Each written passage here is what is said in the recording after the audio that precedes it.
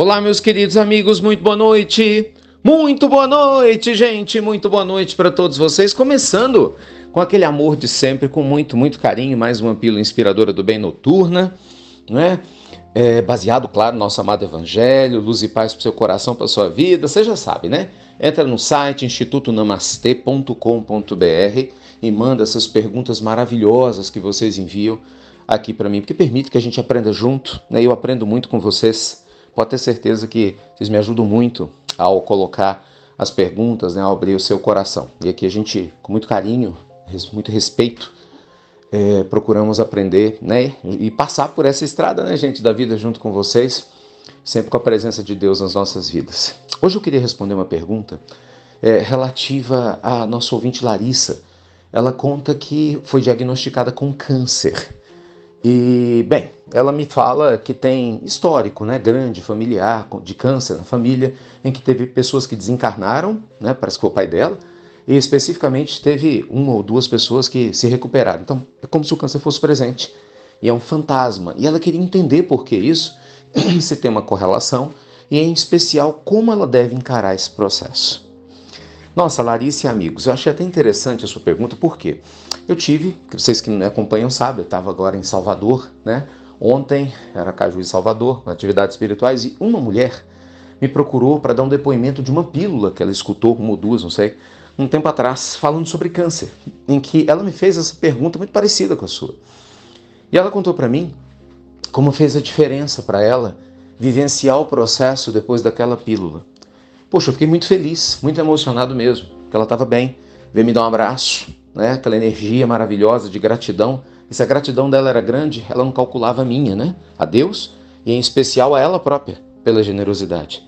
E é muito interessante, né? Porque a minha mãe desencarnou com câncer. Veja só. Então, muitas vezes, a rosa que ilumina o jardim de uma determinada maneira pode iluminar um outro jardim de uma outra forma. O que, que eu quero dizer com isso? Se eu pudesse te dar um conselho, e quem sou eu, eu lhe diria: não se preocupe com o câncer, mas sim com quem você se torna enquanto você vive essa experiência.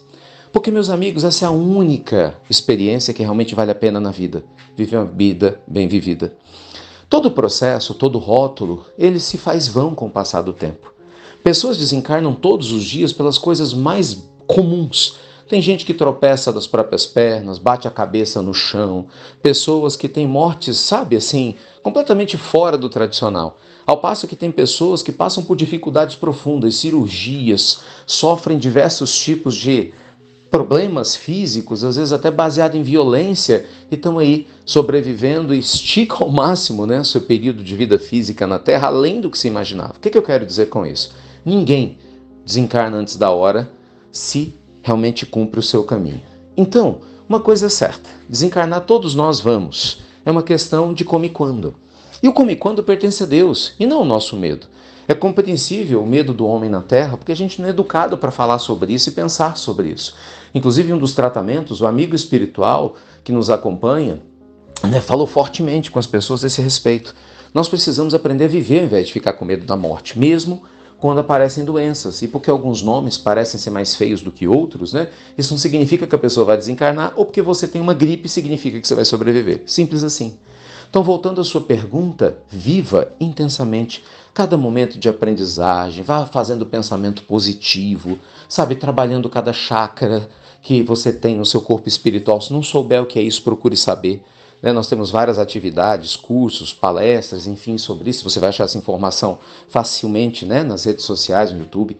Aprenda a harmonizar seus chakras, com muita luz, olha Deus. Sabe, vá valorizando cada dia, cada tratamento, cada quimioterapia, cada insight que você vai ter, porque o câncer está purificando a sua alma, como qualquer outro tipo de enfermidade tem o poder de purificar a nossa, nos estimulando a sermos melhores a cada dia.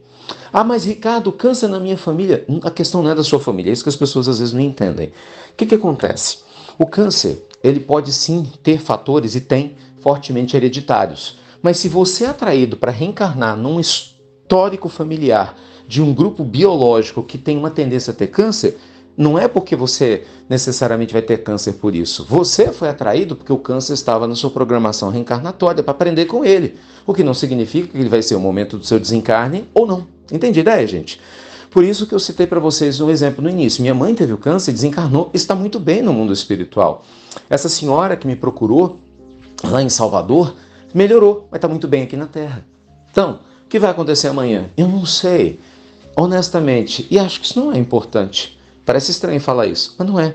Agora, o que vai acontecer agora, na minha alma, isso sim é crucial e fundamental. Então, viva a vida de vocês da maneira mais leve possível.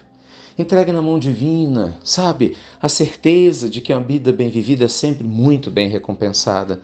E fiquem tranquilos, porque aquilo que é nosso, gente, sempre chega na hora certa. O recurso, o apoio, o auxílio, quando necessário, a cura, independente de diagnósticos, desde obviamente que a gente faça a nossa parte e sigamos né, da melhor maneira possível. Da minha parte, nós estamos aqui, nossa equipe, vocês sabem disso. Temos o Evangelho agora, né? A gente está fazendo terça, quarta e quinta, inclusive amanhã tem, eu não fiz semana passada, porque eu estava viajando, mas voltei, estou aqui a terça, quarta e quinta, seis e quarenta da manhã. Espero você na segunda edição do Bom Dia Prosperidade com o Evangelho no Lar. Essa versão vocês vão amar. Sexta-feira tem um tratamento à distância, tem a pílula todo dia. Eu tenho certeza que do seu lado você tem grandes amigos. Através da sua oração, da sua fé, você vai atrair ótimos profissionais da área da saúde. Vai se tratar física, emocional, espiritualmente, com a graça de Deus, o tempo vai fluir a seu favor, segundo as necessidades do seu espírito. E não tem que pensar em outra coisa a não ser a gratidão e de viver uma boa vida. Que Deus abençoe a todos vocês. Aquele beijo grande. e lembre-se, amanhã, acabei de falar, né? Bom dia, prosperidade, 6h40 da manhã, para você começar super bem seu dia comigo. E ó, essa semana acaba, hein? A gente vai virar o terceiro lote. Nossa, a gente já está quase né, no dia no nosso start emocional, aquele curso de três dias sobre as emoções inteligentes, autoconhecimento, estudando relações familiares, né? estudando relacionamentos profundos, enquanto o amor não vem, como lidar com ansiedade, depressão, aprendendo muito sobre o nosso inconsciente, um final de semana inteiro para ajudar vocês a cuidar das emoções. Evento social, nós vamos ajudar sete instituições de caridade e um valor extremamente simbólico, né? em torno da casa dos 100 reais é, realmente para poder todo mundo né, ter condição de participar. Então venha, se inscreva, tá virando aí o terceiro lote e aí já já é o curso, você não vai ter mais tempo de inscrever. Combinado? Então que Deus abençoe vocês, se proteja, muita luz e paz e obrigado a você. Compartilhe as pílulas. Até breve, até muito, muito breve.